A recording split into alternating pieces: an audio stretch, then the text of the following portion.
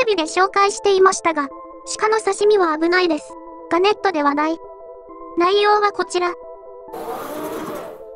テレビで紹介されていた鹿の刺身への注意喚起が話題のようです。では、ソンミヒョンさんのツイートより内容を見てみましょう。ソンミヒョン。テレビで紹介していましたが、鹿の刺身は危ないです。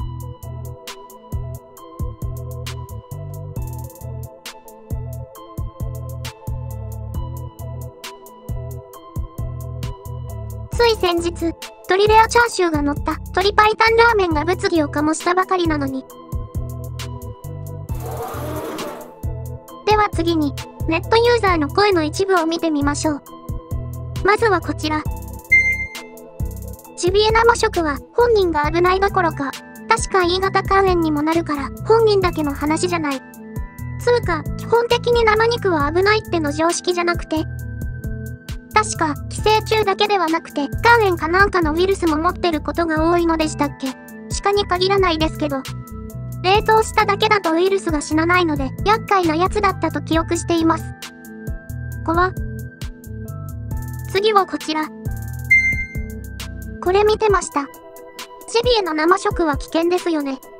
新鮮な肉と言っていましたが、鮮度の問題ではない。ジビエの生食ほど恐ろしいものはありません。公共の電波で放送しないでもらいたいものです。何かあったら、テレビ局は責任が取れるのでしょうか次はこちら。肉食獣じゃねえんだから、少しは考えろや。生食進行は危険だな。これ番組見ながら思いました。よくこのタイミングでやったなとも。普通、鶏レアチャーシューで食中毒が発生した矢先に放送します。最後はこちら。基本的にテレビが言うことの100%は嘘だと決めつけている人が大半なので、そんな商法に引っかかる人はいないのではすでに20代の50%以上はテレビすら保有せず、テレビという概念そのものが存在していない。息を吐くように嘘を垂れ流す放送局。多くの人はテレビの情報を鵜呑みにしませんが、未だに一部の情弱は信用すると思います。だから危険なんですよね。